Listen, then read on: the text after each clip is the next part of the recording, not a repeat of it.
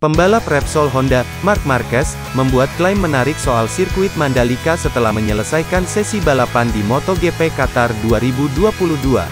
Secercah cahaya bak menyinari tim Repsol Honda pada gelaran MotoGP 2022.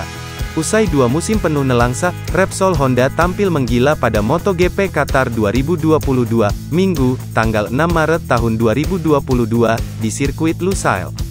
Bagaimana tidak, podium ketiga berhasil diamankan oleh salah satu pembalap MotoGP dari tim Repsol Honda, Paul Espargaro. Di sisi lain, pembalap Repsol Honda lainnya, Marc Marquez, juga tampil meyakinkan dengan menyabet posisi kelima. Kalah dari Paul Espargaro, Marc Marquez tetap puas dengan hasil MotoGP Qatar 2022 yang ia rengkuh. Bagi Marc Marquez, 11 poin yang ia koleksi jauh lebih baik ketimbang terlalu memaksa menang dan terjatuh dari motor. Saya berhasil menggondol posisi terbaik yang bisa saya amankan, ujar Mark Marquez dilansir juara.net dari Jipon. Jika ini terjadi 4-5 tahun yang lalu, saya pasti sudah berusaha untuk menang atau malah terjatuh dari motor. Hari ini saya sudah memilih kecepatan.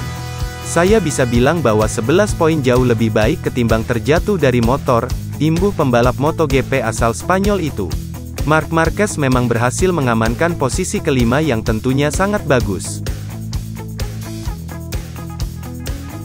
Meski begitu, ia punya gap atau jarak yang cukup lebar dari juara MotoGP Qatar 2022, Enea Bastianini.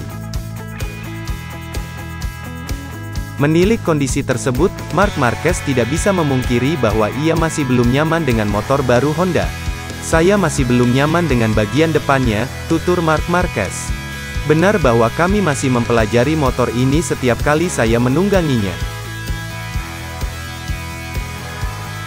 Saya tidak banyak mengotak-atik pada balapan kali ini, hanya fokus pada garis balap dan cara mengendara.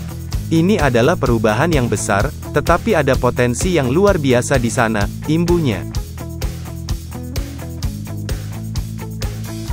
Dari komentar soal motor baru Honda ini, Mark Marquez kemudian membuat klaim menarik soal sirkuit Mandalika. Ia menyebut sirkuit Mandalika sebagai salah satu dari tiga trek yang menguntungkannya. Lusail adalah sirkuit di mana biasanya kami menemui kesulitan, ujar Marquez.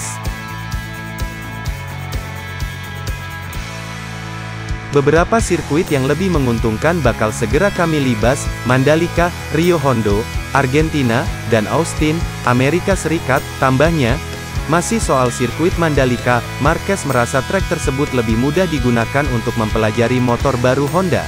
Di Mandalika, akan lebih mudah mempelajari motor RC213V, tukasnya. Karena di Qatar, kami hanya bisa mempelajarinya saat siang hari, pada latihan pagi itu tidak berguna.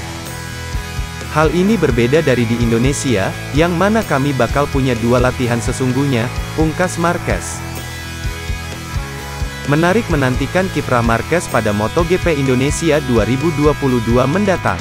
Apalagi, hasil tes Mandalika yang manggung pada bulan Februari lalu memang membuat Repsol Honda percaya diri.